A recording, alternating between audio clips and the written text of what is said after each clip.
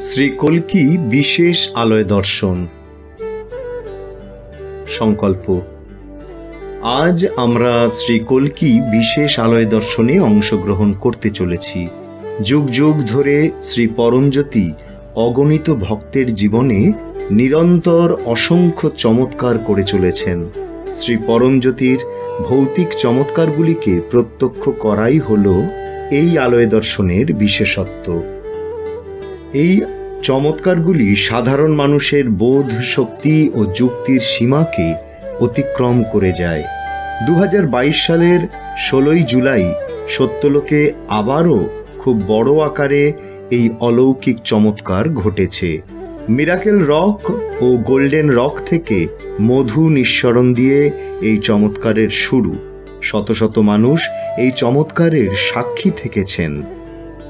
এই পবিত্র মধু গ্রহণ করে সবাসনে শায়িত থাকার পর তাঁরা আনন্দ, শান্তি এবং ভালোবাসার এক উচ্চ চৈতন্য স্থিতিতে পৌঁছতে সক্ষম হয়েছেন।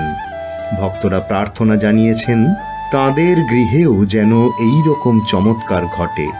ভগবত অনুগ্রহে এই পবিত্র ঘটনা বিরামহীনভাবে ঘটছে। শ্রী আম্মা ভগবানের শ্রীমূর্তি, পাদুকা ও অন্যান্য দেবমূর্তির থেকেও মধু, বিভূতি, কুমকুম ও হলুদ নির্গত হয়ে চলেছে।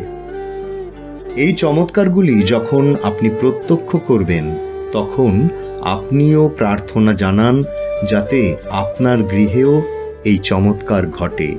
আপনার গৃহে থাকা শ্রীমূর্তি থেকেও পবিত্র পদার্থ নিঃসৃত হতে পারে। সেটি গ্রহণ করে আপনি সবাসনে গেলে আপনিও আনন্দ, শান্তি ও ভালোবাসার এক উচ্চ চৈতন্য স্থিতিতে পৌঁছতে পারবেন।